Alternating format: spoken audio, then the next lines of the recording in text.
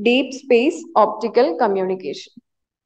NASA successfully experimented deep space optical communications. NASA's one demonstration of optical communications beyond the Earth-Moon system. It is the NASA's first demonstration. It's beyond Earth-Moon. Okay. It consists of a flight la uh, laser transceiver, a ground laser trans uh, transmitter, and a ground laser receiver. Meaning it will have the communication, the Earth and the Moon, and it will go the beyond the communication of Earth-Moon layer. Okay. Its aim is to transmit, uh, demonstrate data transmission rates from uh, rates 10 to 100 times greater than the radio frequency systems used by spacecraft today.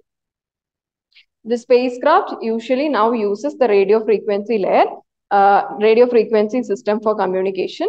And here it will have a higher frequency of higher bandwidth. Okay, for communication. Mainly this is for communication. Okay. Optical communication means light is used. Okay. And initially we can see that radio frequency is used by spacecraft these days for communication.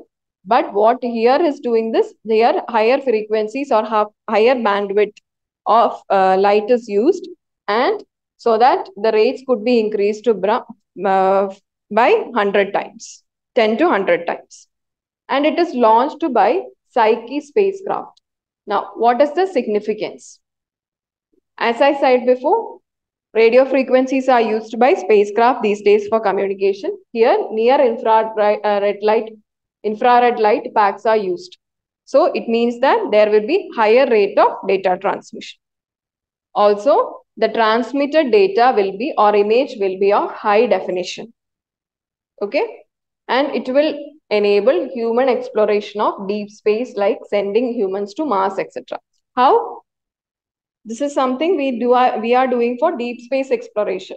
Here we are do, uh, uh, using uh, infrared lights of higher frequency and of higher clarity compared to the radio frequency one which are using now. So from deep space, we can have the communication with the earth. So meaning that we can explore more the deep space region. Okay. Clear?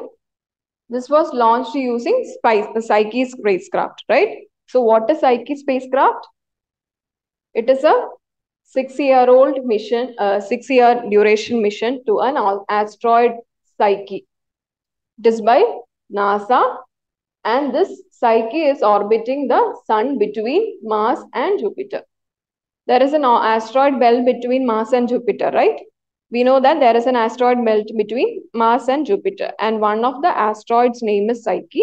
And to this region, uh, to this asteroid, NASA has sent a spacecraft or a mission known as Psyche mission. Okay, using that only we are sending, we have uh, analyzing the deep uh, space optical mission, communication mission. Okay, and why Psyche in uh, in exclusive? That is the uh, uh, next question. So we know that the planets are the uh, are made up of gases. Like more than metals, they are made up of gases. But here, the building block of planet is usually made of metal, that is iron. And the asteroid is rich in this iron. That is why we are specifically targeting this asteroid. Clear? That is one of the main aim.